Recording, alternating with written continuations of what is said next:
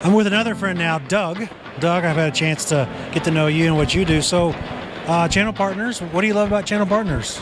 It's all about building relationships, getting to see people that we work with on a day to day basis uh, that sit across, all across the country. Uh, getting to see you guys, love to see you and the Momentum team, and uh, just build on those existing relationships and obviously learning about new providers and, and other technologies that are out there too.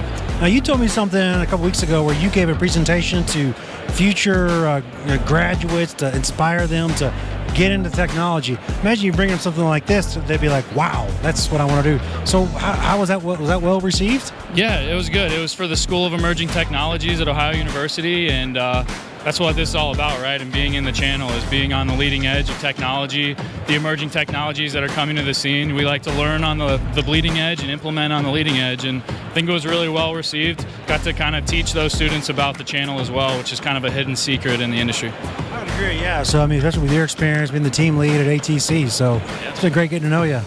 Likewise. All right, man. Thanks a lot. Enjoy you. the show. Thanks. See ya.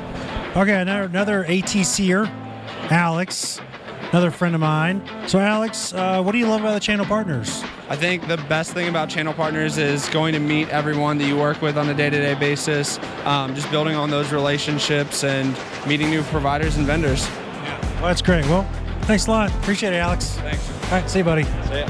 So, Rob Rogozin. Um, so, what do you love about channel partners? Every year here in Vegas, what do you love about it? Well, Carter, what wouldn't you love? You bring a family atmosphere that people you've been working with forever, but the latest technologies all in one gathering every year. So, how many people have you met that you knew? I would say over the past 48 hours, 35 people, give or take, that done business in one capacity or another. Probably what over a dozen meetings so far. This morning, yeah, I started at 7:30 this morning and wrapping up now. Wow! And how long have you been in the channel, Rob? About 16 years now and going strong. Wow. It's a long time. Do you like it still? Love it. Wouldn't change the world. I agree.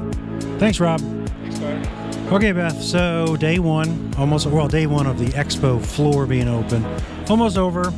Uh, so you have been doing this for a long time. When did you do your very first one? How long ago was it? It has to be close to 15 years ago, I think. Long time ago. Yeah, I won't say how old I was, but it was a long time ago. You're a professional when it comes to channel um, Expo. So when did you get? You were the first one out here to get all this set up. Is that right? One of the first. I had a lot of help, so I can't take all the credit. But yes, got her here early yesterday to set up. Well, thank you. It's fabulous. So any any the channel partners in the past that stood out? Any like fond memories? It's always uh, interesting and exciting in Las Vegas. I'll say that. So there's definitely been some concerts and different things at places on the strip that are are interesting. Nothing stands out, uh, you know, too much, but what happens in Vegas stays in Vegas. Oh boy.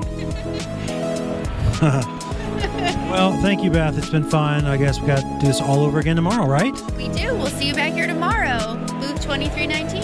2319. 2319. Okay. Thanks, Beth.